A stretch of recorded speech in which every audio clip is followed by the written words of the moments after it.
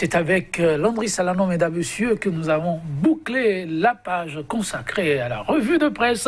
Lui déjà confortablement installé pour nous aider ensemble à apporter l'essentiel des parutions du jour. Landry Salano, bonjour. Bonjour, Joël et. Alors, en parlant de parutions d'aujourd'hui, on boucle le week-end, non, la semaine, disons, avec, j'imagine, nos tout jeunes frères. Oui, euh, avec de nouvelles informations d'ailleurs. Et puis l'aéroport international de Touro, qui peine toujours à recevoir les grandes compagnies, les aéronefs. Souvenez-vous de cette descente musclée de, euh, du ministre Evire Romer. Les journaux s'interrogent aujourd'hui Qu'est-ce qui bloque toujours, évidemment, l'inauguration, disons, de l'aéroport international de Touro Pourquoi les passagers peinent, ou j'allais dire les aéronefs, peinent toujours à atterrir au niveau de cet aéroport Lundi prochain, Joël Tony, ce sera le début de l'examen du certificat d'études primaires. Le chef de l'État, Patrice Talon, s'est adressé aux différents candidats sur sa page Facebook, appelant notamment au respect des mesures barrières. Des canards reviennent également sur cette information, sans oublier la politique toujours 2021, quels devraient être sans doute les critères pour les différents exclus, en tout cas depuis 2016, des journaux appellent ou bien y voient beaucoup plus en 2021 une certaine opportunité. Ok, c'est aussi, il faut dire, un mélange de social, d'éducation et de politique. On démarre et ça va être avec quel quotidien? Nous démarrons avec la, la dépêche qui nous ramène au niveau de la criette, notamment à Porto Novo. Justice et équité sous la rupture et l'autorité de la chose jugée s'interroge le quotidien. La criette, toujours au cœur de la polémique. La criette qui est donc la Cour de répression des infractions à caractère économique. La dépêche qui ne voit plus un homme politique notamment et qui s'interroge aussi, élection présidentielle de 2021, où est passé Théophile Yarou, le maestro de l'opposition? S'interroge donc le journal qui nous rapporte aussi par ailleurs la réaction de l'avocat de l'ex-maire de Cotonou, Léa Divina Soglo, il faut le rappeler, condamné à 10 années d'emprisonnement ferme, plus un mandat d'arrêt pour abus de fonction par la criette. Le journal rapporte aussi cette opinion d'un diplomate la diplomatie n'a pas vocation à s'étendre, à s'éteindre, pardon. Et, pardon, la démocratie a vocation à s'étendre et non pas à se replier une fois qu'elle s'est étendue. Voilà donc ce que nous rapporte le journal La Dépêche. Dynamisme Info s'intéresse à la criette, série de condamnations avant 2021. Cette hyperactivité de la criette qui fait craindre.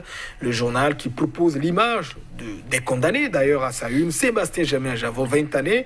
Euh, Lionel Zinsou, il faut rappeler, c'est pas condamné par la criette. Komi Kouché qui coupe également de 20 ans. Et puis, et puis, Léa Divina qui coupe également de, euh, de 10 années. C'était donc il y a quelques jours. Et déroulement des examens en dépit de la crise sanitaire, Talon se réjouit des efforts pour se passer de l'inondation à pardon, de l'invalidation de l'année en cours. Le nouvel observateur, affaire Léadi Vina-Onsoglo à la Créette, serait-on condamné pour abus de fonction? S'interroge donc le journal. C'est un procès en charlatanisme contre mon client, dixit son avocat, maître Bokovo.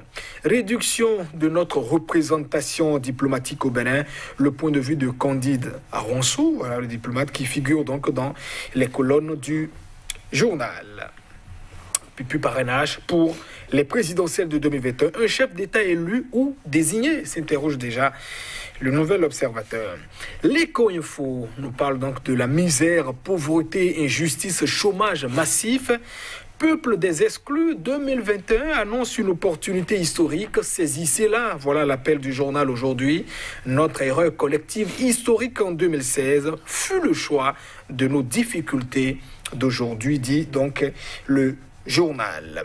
Et puis exilé en France depuis août 2017, de peur d'être jeté en prison pour rien, les craintes de Léadi Vinéon Soglo étaient visiblement fondées, puisqu'il a été condamné à 10 années d'emprisonnement ferme pour rien, conclut donc l'éco-info. Et Livre qui nous ramène donc à Paracou notamment, promesse de finition d'un aéroport depuis bientôt 5 ans. Qu'est-ce qui bloque Tourou? Tourou pour évoquer évidemment le quartier dans lequel est implanté euh, l'aéroport international qui est donc basé à Paracou avec l'image évidemment du ministre des Infrastructures, Hervé Herhomen. Covid-19, reconnaissance, euh, disons, euh, du gouvernement, des agents sont sans salaire. Voilà ce que dénonce notamment le Centra Sèche. Le quotidien d'Abarou s'intéresse notamment à cette pandémie et gestion de la pandémie de Covid au Bénin. Et si le gouvernement revoyait sa stratégie de communication, s'interroge donc le parti, le journal et le journal notamment aussi qui s'intéresse à la politique notamment en précisant qu'à neuf mois de la présidentielle, les partis politiques sont dans un silence inquiétant. Et puis, le quotidien Le Soleil Béninfo, avec lequel nous bouclons d'ailleurs, s'intéresse à ces examens de fin d'année en pleine menace du Covid-19.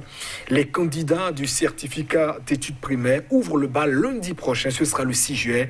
Le chef de l'État, Patrice Talon, insiste dans un message sur le respect des mesures barrières. Je vois les Merci à vous, Landry Salanon. Nous allons démarrer exactement là où vous, vous avez comme vous, vous avez terminé. Et oui, voilà, soleil levant qui s'intéresse aux examens de fin d'année et parlant du CEP, certificat d'études primaires. Oui, le certificat d'études primaires, d'ailleurs, avec ce titre, les candidats du CEP ouvrent le bal lundi prochain. Souvenez-vous, les examens étaient donc fixés un peu plus tôt, hein, évidemment, disons depuis le mois de mai d'ailleurs, pour, pour les boucler à cause de la pandémie du Covid-19, notamment les réaménagements du calendrier, repousser donc le CEP qui va ouvrir le bal pour le lundi prochain. Ce sera donc le 6 juillet. Et le chef de l'État, Patrice Talon, s'est adressé aux candidats, hein, évidemment, euh, à travers un message sur sa page euh, Facebook. il appelle notamment au respect des mesures barrières. Vous savez, la petite saison d'ailleurs des pluies hein, euh, que traverse notamment la partie méridionale de notre pays à court depuis quelques jours. Donc il pleuvra, ou bien il pleut ces, ces temps-ci. Donc évidemment, déjà les parents, notamment les candidats, je crois, doivent prendre notamment les, précautions d'ailleurs en se levant très tôt, candidat, vérification, comme on le dit souvent, hein, des différentes pièces, voilà, objet à notamment envoyer, euh, candidat, d'identité et les autres. Euh, déjà, euh, aussi la veille déjà, aller quand même vérifier aussi, disons, sa salle de, composition. Je vois les ça évite notamment les, disons, les pertes de temps, notamment le, début de, de, composition. Et puis on recommande aussi quand même aux élèves, aux apprenants d'avaler quelque chose le matin Patrice Talon aussi, qui dit aussi hein, dans, son, dans son message, il appelle notamment les candidats à manger notamment quelque chose, à rester aussi euh, beaucoup plus euh, discret, euh, j'allais dire beaucoup plus zen, avant donc le début, de, démarrage des, différents épreuves. ce qui doit être quand même beaucoup plus important, vous savez, c'est une première pour ces compositions en temps de pandémie de coronavirus. Évidemment, même si les dispositions ont été donc prises, sans doute pour la distanciation sociale, le port de masque dans les salles, voilà, appeler aussi les parents à vérifier euh, tout cela et qu'au-delà de tout aussi, euh, euh, les surveillants de salle, également les chefs de centre aussi d'examen puissent avoir aussi un meilleur regard pour sans doute les cas particuliers dans des salles, peut-être les jeunes asthmatiques, les enfants qui ont peut-être de, petites pathologies, à y voir toujours quelles dispositions prendre pour éviter, comment dit-on, qu'il y ait donc de, de mal donne. On sait de, de, composition. En tout cas, comme on le dira peu ou pro, pour ceux qui ne croient pas. Bonne chance à tous ces, à tous ces candidats. Voilà, pour ce premier diplôme euh, qu'ils vont euh, sans doute empocher d'ici, d'ici quelques jours. Joël Étranger. Nous sommes à tous les candidats, toujours et surtout dans la sérénité. Voilà, Landry Salanon, nous allons nous intéresser encore à un autre fait. A un fait on peut dire, de société de développement oblige Matin Libre qui s'interroge à un grand projet qui bat de l'aile jusqu'à présent. Oui, promesse de finition d'un aéroport euh, depuis bientôt 5 ans. Qu'est-ce qui bloque Tourou, notamment euh, Tourou, qui est donc évidemment une localité située à quelques kilomètres de, de notamment, euh, où est implanté l'aéroport international. Il faut pouvoir quand même le préciser qui, évidemment, avait été, euh, vous savez, le début, le début, début des démarrages, c'était donc euh, en 2007, sous le règne de Boniaï. Avant la fin de son mandat, on a vu quand même euh, un vol inaugural, entre guillemets, un peu pour prouver que l'aéroport avait été sans doute inauguré. Vous savez, même si les travaux n'étaient donc pas totalement achevés, alors aussi, Boniaï en avait aussi fait une promesse. À son arrivée, le gouvernement de la rupture, à travers son ministre, avait expressément promis que cet aéroport serait donc achevé. Et on se souvient de cette descente, hein, de cette descente quelques jours après la prise de service de Patrice Salon, euh, du ministre Elie Romé, notamment ses euh, déclarations qui ont suscité un vrai tollé déclaration à l'égard notamment de, de Boniaï. on lui interdit d'être ici. Désormais, on lui appliquera la rigueur de la loi. voilà, beaucoup tollé tout de même. Quelques temps après lui-même, il a été révoqué, descendu, disons, de son ministère. Il est revenu en tout cas après cet remaniement. Désormais, euh, au niveau du ministère des Infrastructures. Et à matin libre de, de, se poser la question. Le ministre est donc appelé à nous clarifier qu'est-ce qui bloque évidemment l'inauguration officielle ou du fait, j'allais dire l'affluence, disons, des différents euh, euh, appareils, notamment au niveau de l'aéroport international de, de, Tours. Il faut quand même préciser que à la veille de ces élections, souligne d'ailleurs aussi le journal des élections législatives, en mars dernier, on a vu une certaine, un certain vol hein, qui ressemblait quand même à un vol inaugural de Air Taxi, une compagnie de la place, qui s'était rendu avec certains ministres, où on parlait d'une certaine inauguration, comment dit-on, de, de l'aéroport.